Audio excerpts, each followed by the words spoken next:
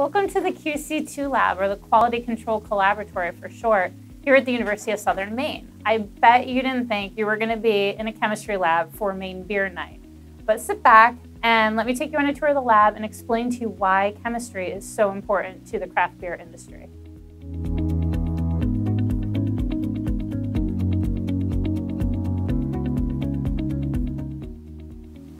Well, now that we're in the lab, let me formally introduce myself. I am Dr. Lucy Benedict, and I'm the director of the lab here. And our lab serves the brewing industry in a few different ways. Uh, first, we use we offer testing for brewers um, so that they can get information about different uh, aspects of their beer, like ABV and IBU and things like that. We also offer workshops to our brewers uh, so they can learn how to do quality control in-house and then last, um, but definitely not least, my favorite part is research, which I'll show you a little bit later on our tour. But for the first part of our tour, I'm gonna pass you off to our lab coordinator uh, extraordinaire, Sam White. Thanks for the introduction, Lucy. Before getting into the specifics about our testing services, I'd like to give you a little bit of context about the lab. We are a nonprofit, and all of the revenue that we generate from our testing services is funneled back into the lab. That, in conjunction with funding through the Maine Economic Improvement Fund, allows us to offer our services to the craft beverage industry and to also train our undergraduate students who conduct most of the testing services that we offer.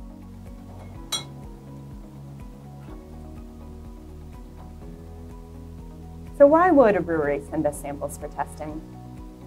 First and foremost is to get a baseline for their beer so that they know important characteristics like alcohol by volume or IBU, which I'll talk about in a little bit. This ensures that their beer is true to type.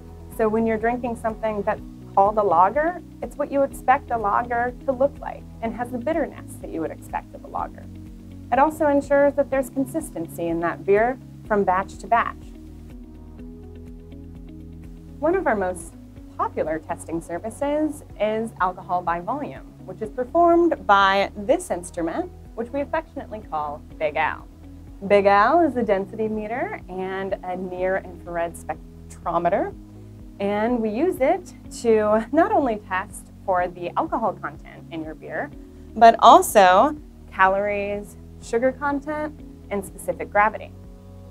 He's very talented.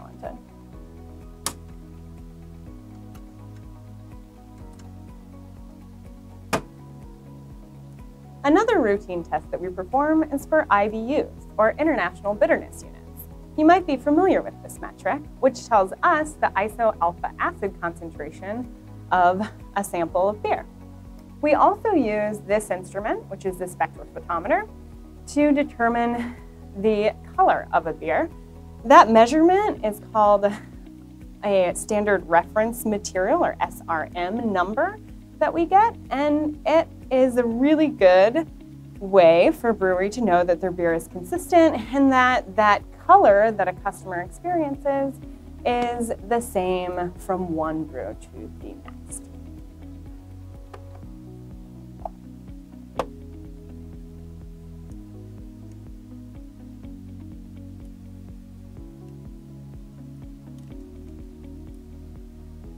There are two more tests that I'm excited to tell you about. The first uses polymerase chain reaction technology to detect Pediococcus and Lactobacillus beer spoilers, which are two strains of bacteria where they can harbor the hops resistance gene. So unlike most bacteria, which can't survive in beer, these can. And they produce lactic acid, which gives beer a kind of sour off flavor. You definitely don't want it in your beer before packaging.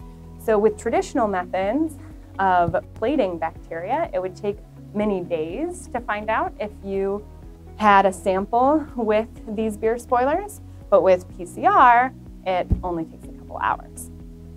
Another really cool test that we do is for gluten. So if you enjoy gluten-free beer, that beer has been shown to contain less than 10 parts per million of gluten.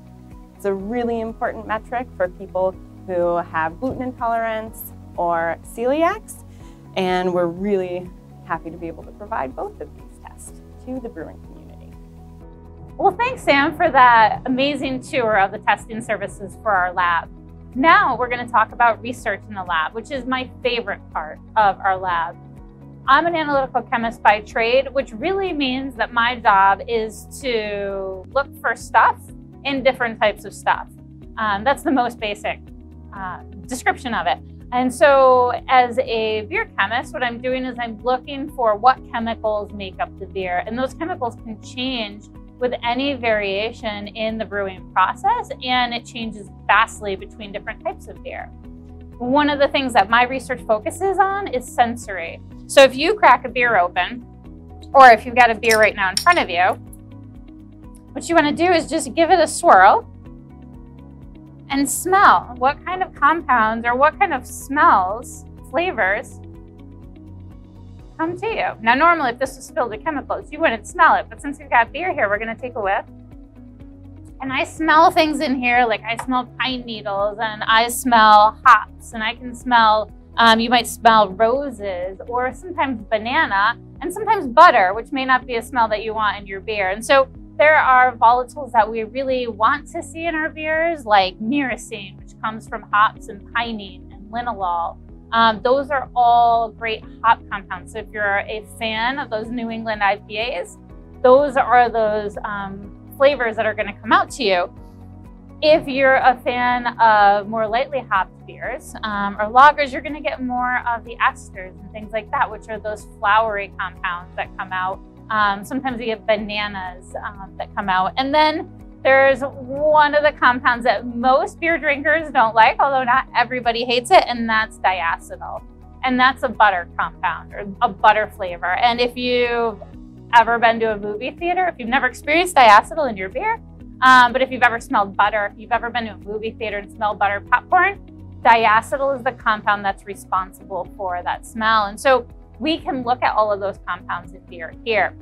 In fact, beer is made up of, of over 200 um, different volatile compounds that have been tested. Now, how do we do that? That's what I want to talk about just briefly. Um, we do that using this instrument right here, which we call a gas chromatograph um, with a mass spec. Now, if you're a forensics fan and you watch some of those CSI shows on TV, they use this instrument. It's great for separating out compounds. That's the chromatograph part. And then we get to the mass spec part, and that helps us to identify our compounds and tell us how much is in our beer or any sample that we're looking for, whether that be hair or soil or beer. Um, and that's what we do on our research side. Um, not only on our research side do I run research projects um, with different breweries in the area, but we also have our undergrads who have done research projects, and we study everything from these volatile compounds up through uh, zinc and calcium and magnesium that might help yeast grow. Thank you for joining us on our tour of the lab. If you want to check us out online, we're at qc2.beer, or you can always shoot us an email or give us a phone call with questions. This lab wouldn't be here without the support from the Maine Economic Improvement Funds or the University of Southern Maine. Thank you.